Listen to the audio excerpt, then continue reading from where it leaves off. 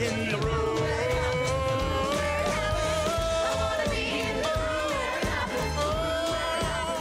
You always want to be in the room where it happens. You may recognize that song, The Room Where It Happens. That, of course, is from the hit musical Hamilton.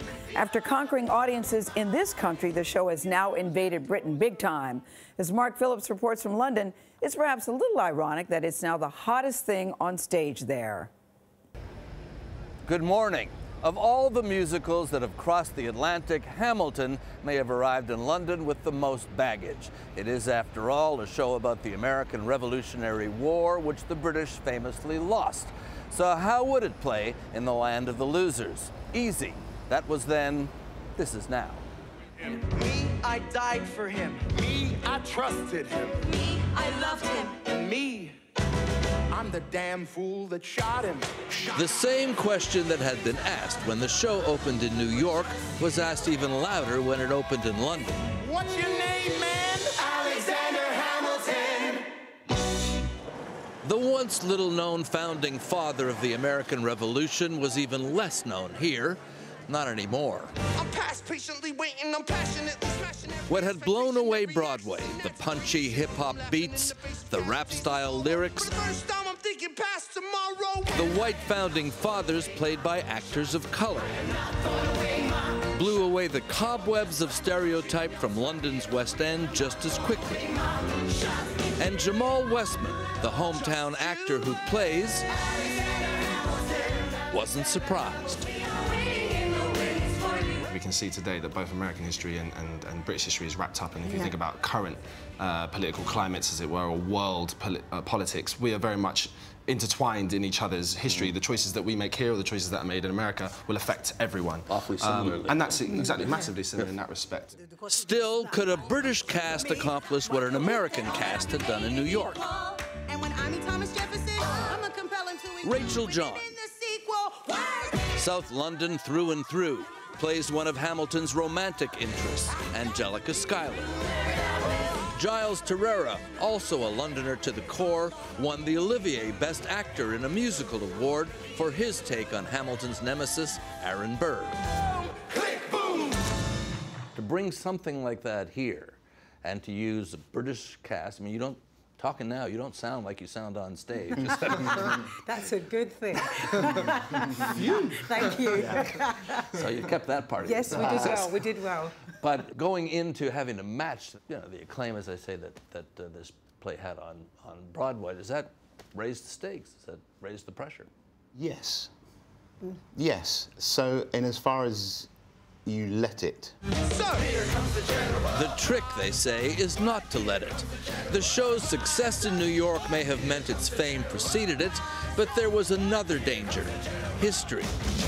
How would a musical about an American victory and a British defeat in the U.S. War of Independence play here? If you're doing historic winners and losers, this is a play about the winners in the place of the losers. That that oh, matter. Oh, I see oh. where you, I see where you're oh, coming from. Now I, was like. I didn't realize that's what. Oh, so we're the losers. Oh, okay, right, I get it. I get it. Sorry. the Brits are the losers. The Americans are winners. I get it. No, I know where you are. I'm so sorry. Yeah, so what's your answer? the way he writes isn't not really about Britain losing. It's about it's about that group of people gaining their independence, and mm. being free. There is one slight adjustment in the play here. The character of the British king at the time, George III, is played a bit more for laughs, less perhaps as a villain. He's a big hit. And so's the play. Sold out, of course.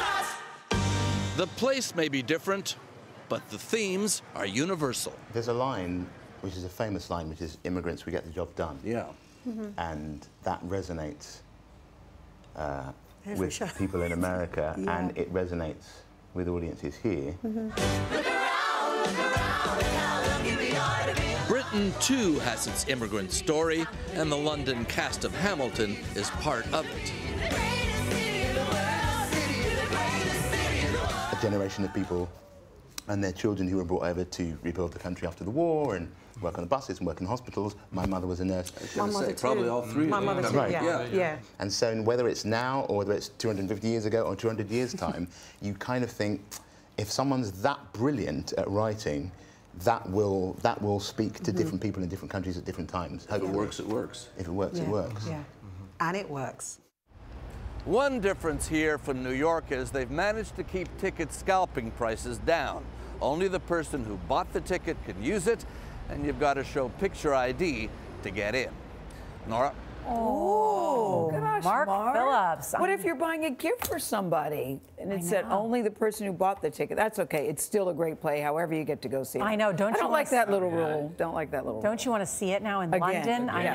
know. It would be time number four for me, Yes, the London version. But Lin Manuel Miranda says this is one of the best casts ever, right? Yep, yep. He has seen it and totally approves. I think no matter where you see Hamilton, it's a good It show. But I is. hear that these guys are exceptional. And the French, I mean, the uh, British and the American can they can join together in making fun of the French, which the play does. So that's one thing that crosses the Atlantic. And- yes, and, and the king has played for laughs here too. Yeah. In fact, it, it got so whenever the king walked out on stage, you would start cracking up before he even opened his mouth because you knew it was going to be something So good. hilarious.